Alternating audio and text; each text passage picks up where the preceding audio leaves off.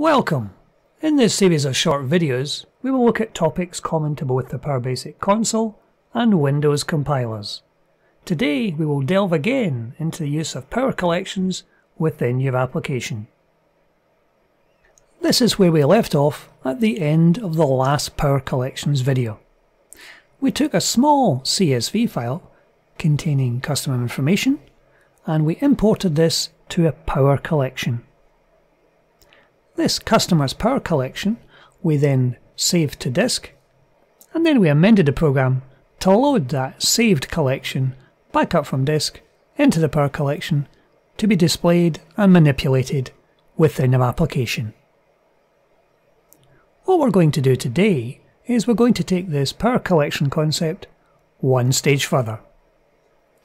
Let's have a look at the code. What we're doing at the moment is we're creating a user-defined type called customers.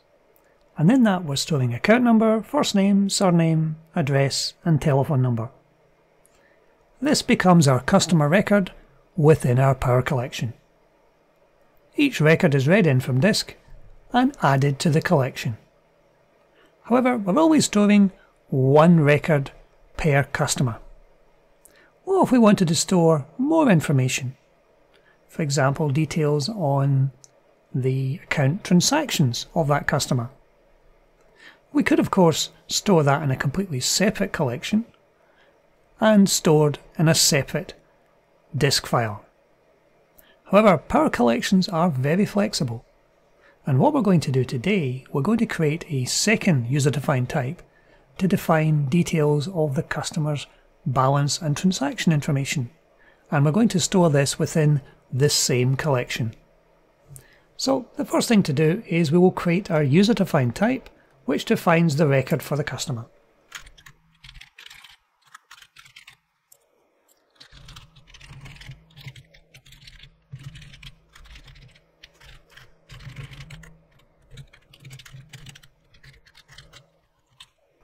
So what we're going to have, we're going to have the account number, the balance, and three recent transactions on the account. Now, in order to store this within the same collection as the customer's records, we need to expand our account number slightly. So what we're going to do, rather than having a four character string for the account number, we're going to step that up and make it eight characters. And we're going to add a prefix onto the customer's records and a prefix onto the account records.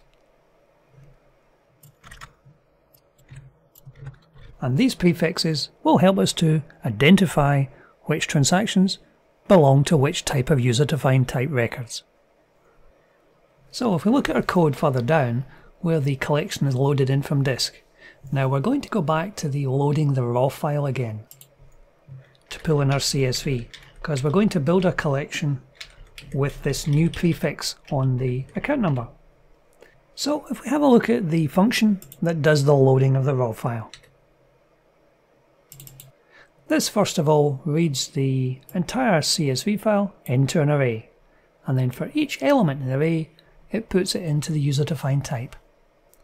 Now what we're going to do for the account number is we're going to add on the prefix.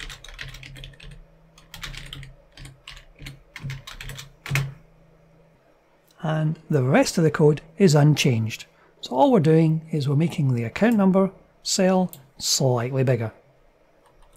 So having loaded the raw file and put the data into the user-defined type, the next stage then is to add the record to the collection. And once that's done, we can go back to our original code. So having loaded the raw file, we can then quite happily display the number of records. And after we've displayed the number of records, we want to add another record to our collection. Now we're populating the account number here. We want to put the prefix in, in front of the account number so we can identify it as a user record.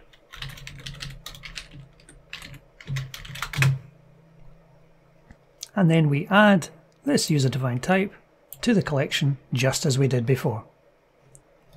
Now for this particular customer, we're going to add some transaction details as well into the accounts user-defined type.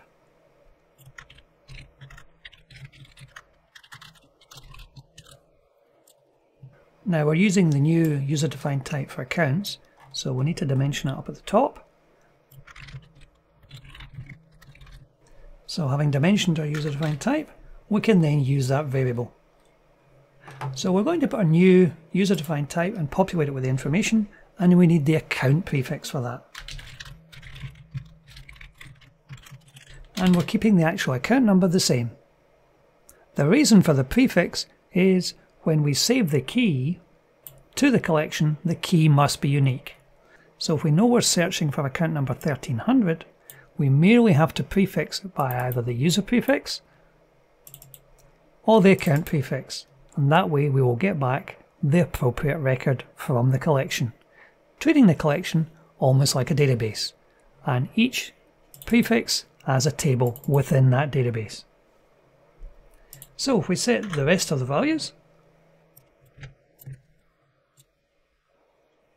now having put that in there, we merely now have to add this particular user-defined type to our collection. And we do it exactly the same way as we did previously.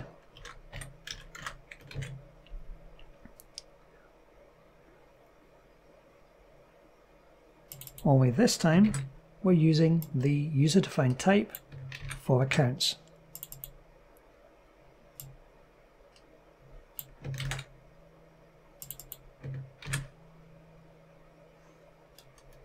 And since our key is formed up of the account number from that user-defined type, it already has a prefix in place. So we can quite happily go ahead and add that record to our collection. So we've now got two different types of record within the collection, one for users and one for accounts. And the rest of our code can quite happily go on. The only difference being, every time we use a key, we have to put in the appropriate prefix so that the collection will know which type of record we're either adding or removing.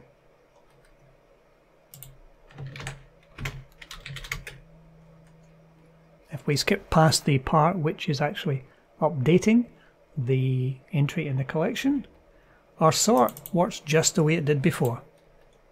And now we get to the bit which we'll need to change at the end, which is reading back the data from the collection. As there are two different types of record within this collection, we'll have to work out which one we're actually dealing with in order to know what to display on the screen. This turns out to be quite straightforward. Since the data is held in a variant, and we know that the account number is the first part of that variant, we can quite happily work out what kind of record we're looking at based on the first four characters. So we'll populate that into a variable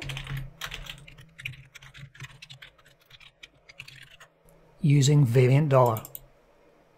Now this basically takes the whole string that is a user-defined type held on a variant and populates it into record type. Now we're only interested in the first four characters of that, so we'll do a select statement. So if the first four letters are user, we know we're dealing with a user record. And if that's the case, the existing code we have here will work quite nicely for the user record. And then all we have to do is to handle the account record.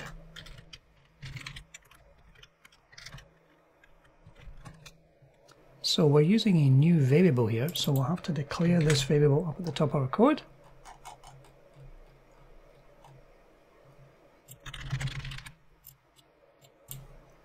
And now we put the code in for our account record. So we're using exactly the same approach as we did up here, The only difference being in this case is that we're not going to UDT customer out, we're going to UDT accounts. So we're populating the UDT accounts user defined type with the data that's coming out of our variant. And the rest of our code we will just paste in, which is using the account number from our new user defined type and we're formatting the balances, which in this case happen to be numbers. We're using a mask to format them in a nice, easily read format. And just for clarity, I'm putting on a carriage return line feed at the end of each line so that each line of this record appears on a separate line so it's easier to read. So that handles the display of the information on the screen. After we've displayed it, we then saved to the collection. As we have two different types of UDT within that collection, we need to change our save collection routine accordingly. So if we have a look at that code, we'll create a new user-defined type for our account records. We're still opening the file for output, and just as we did before, we have to determine what kind of record we're dealing with in order to know what we're outputting.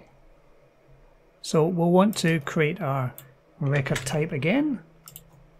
So we'll just declare that variable. So just as we did before, we're picking up the entire record from our variant, putting it into a string, and then we're working out what's in the first four characters. So the code we have in there that already exists is handled in a case statement and we need a separate case statement for the account records. And again, the same approach is taken in that one, where we print out to the file based on the structure in the UDT accounts user-defined type. So once we've actually saved this to the file, our load routine, which is going to load our collection, will have to do exactly the same. So we'll just nip in and change that while we're at it. We'll want our new user-defined type for the accounts. And in here, where we're actually reading the file into a string anyway, we merely need a test based on that, using our select of the first four characters again to work out which type of record we're actually loading up.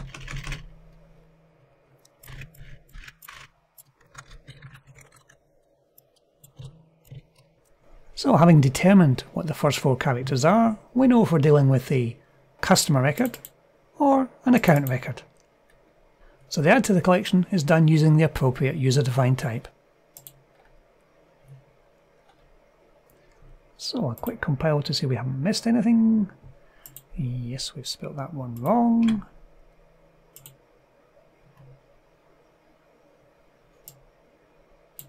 Now we've missed the definition of that one. Oh, UDT accounts.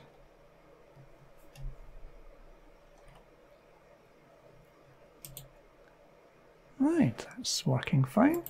So we'll just try a quick run of that now. Now if we have a quick look at what we've got in here, um, it's stored from the CSV file our original accounts. It then reported how many records we actually had. We removed record 1200 as we did in the last video. Uh, we pulled information out at record 3 and updated it. And we have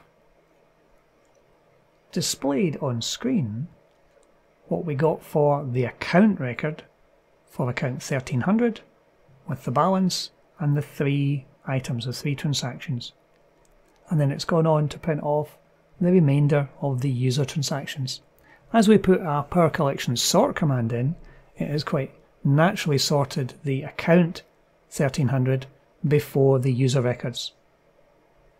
So as you'll see using this approach, you're using your Power Collection like a little mini database. And by varying the user-defined types you put into that database and having a sensibly named key, you can determine which user-defined type to load your data into. So the final change to make will be rather than to load from the CSV file, will be to load from the collection itself. Which proves that we have not only created the collection on disk, but we can read from it as well. And there we have it. It will quite naturally report that it cannot remove user 1200 because user 1200 was already removed in the last run. So there's our data. So this certainly illustrates how flexible power collections actually are. That's it for today. Thank you for watching.